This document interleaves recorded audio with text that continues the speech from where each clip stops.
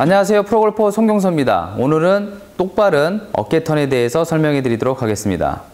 대부분의 골퍼들은요, 왼쪽 어깨를 오른발까지 보내야 된다는 생각 때문에 많이 흔들리는 백스윙을 하게 됩니다.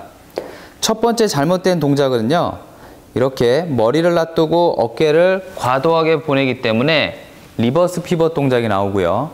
또 한 가지는 왼쪽 어깨를 오른발까지 보내자라고 해서 이렇게 하체가 다 무너지고 머리가 따라가는 과도한 백스윙 동작이 나올 수밖에 없습니다. 제가 올바른 동작을 한번 보여드릴 텐데요. 어, 저는 어깨 턴을 중요시하기보다는 몸통의 회전을 이용한 백스윙을 합니다.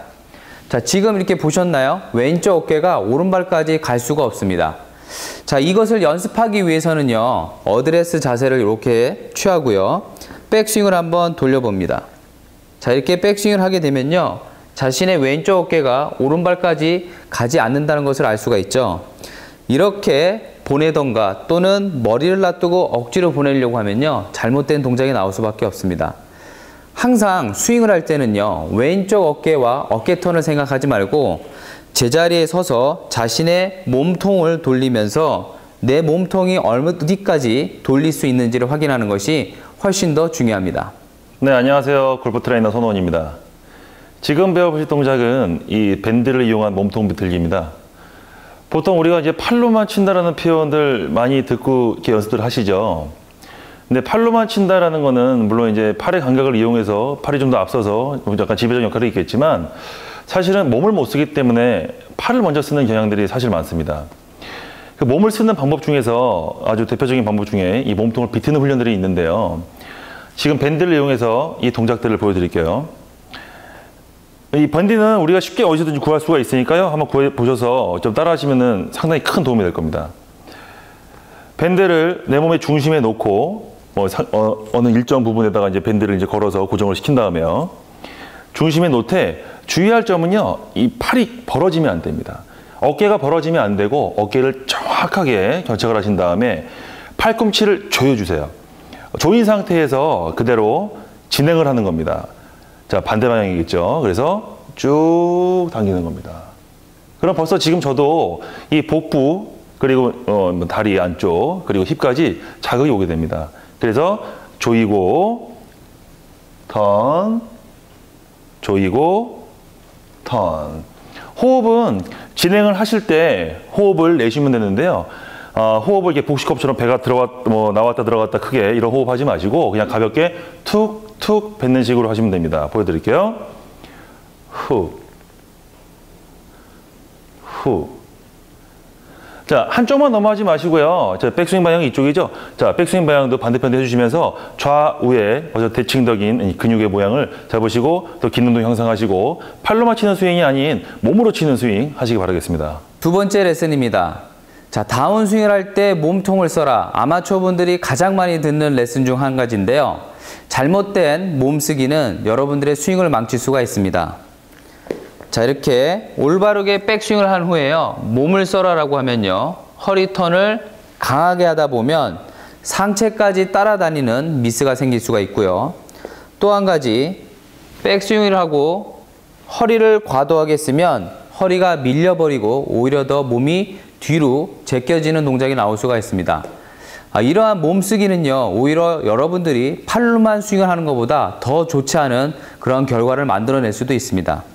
자, 올바른 백스윙을 한 후에요, 다운스윙을 할 때는요, 벌써 백스윙이 끝나기도 전에 허리가 살짝 움직이는 동작을 볼 수가 있습니다. 바로 이러한 동작이 아마추어와 프로에 굉장히 차이가 많이 난다는 것을 알 수가 있습니다. 백스윙을 하고 허리가 자연스럽게 돌면서 클럽이 내려오는 이러한 동작만이 굉장히 좋은 임팩트를 만들어낼 수가 있습니다. 자, 이것을 연습하기 위해서는요. 이렇게 어드레스 자세를 한번 취해 보고요. 자, 백스윙을 하고 허리를 돌렸을 때 상체가 같이 따라가던가 아니면 허리를 돌리면서 머리가 누워버리는 동작이 아니고 백스윙을 한 후 어깨를 그대로 놔둔 상태에서 허리를 자연스럽게 보내주는 이러한 동작을 하셔야 됩니다. 자, 다시 한번 보여드릴게요.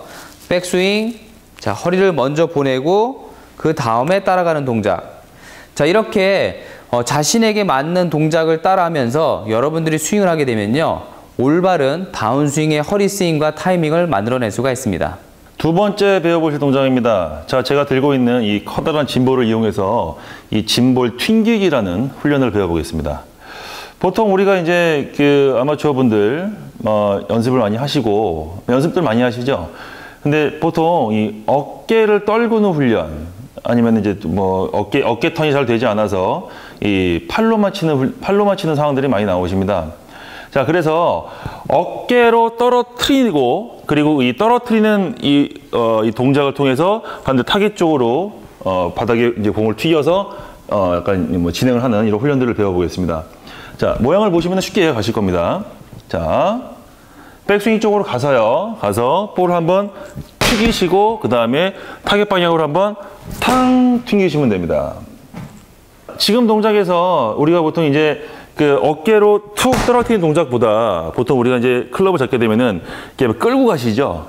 이게 끌고 가는 거는 사실은 어떤 이 회전에 대한 그 이해력보다는 어 그냥 몸이 이렇게 밀리는 상황들에 대해서 보통 이제 몸이 잘못 판단하고 있는 경우들이 많습니다. 그래서 어깨를 툭 떨어뜨리고 또 툭 떨어뜨려서 이 떨어뜨리는 감각을 통해서 그냥 툭 보내는 이런 훈련을 통해서 자, 어, 집에서 이제 뭐 작은 볼, 아니 농구공이라든가 축구공 이런 걸 통해서라도 열심히 연습하다 보시면 아주 좋은 효과를 느끼고 그리고 또 팔로 맞히는 스윙이 아니라 어깨를 이용한 그리고 이제 몸통을 이용한 체중 이동과 턴에 대한 그 좋은 이해를 가지고 뭐 볼 잘 칠 수 있는 좋은 훈련이라고 생각됩니다.